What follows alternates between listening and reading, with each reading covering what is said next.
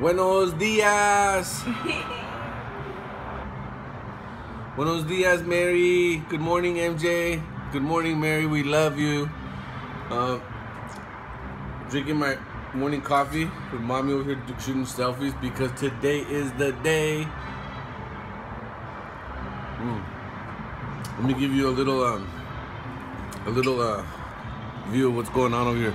Today is the day we're gonna go to the hospital to have mommy's baby. Your baby brother's gonna be born today, MJ.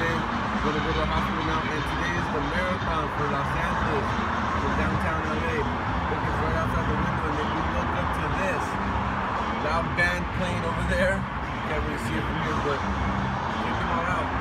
Go for it. So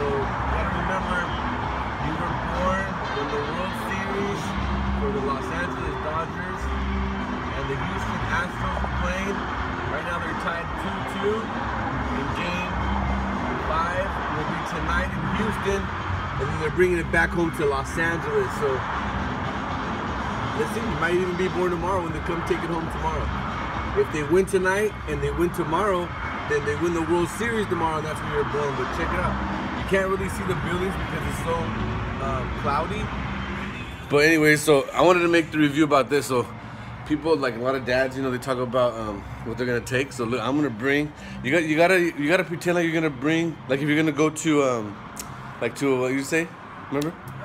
Like you're gonna check into a hotel. So I got my Mercedes bag, and I'm reason why I'm representing Mercedes a lot because I work for Mercedes. So if anybody wants to wants to come and uh, get a Mercedes from me, but look at we got this, yeah, for little little AJ.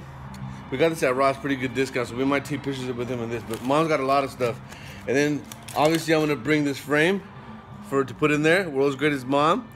Look at there you are, Mary. There you are, little MJ. And again, we shoot these videos for MJ to remember.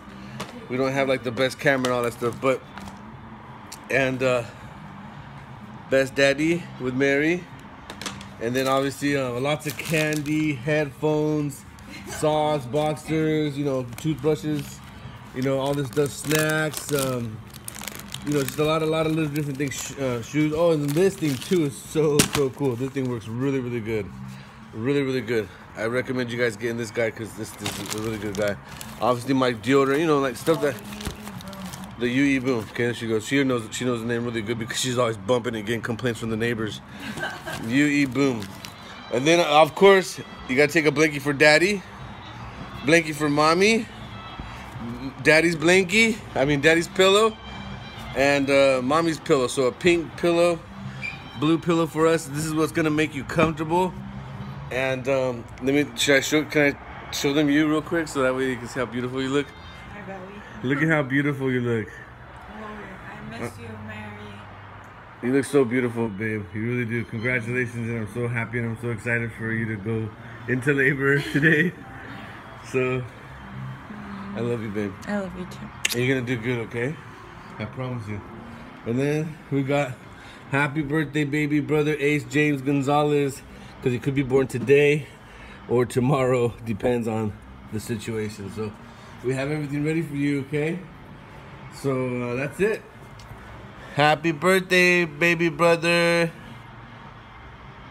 We will see you in a bit.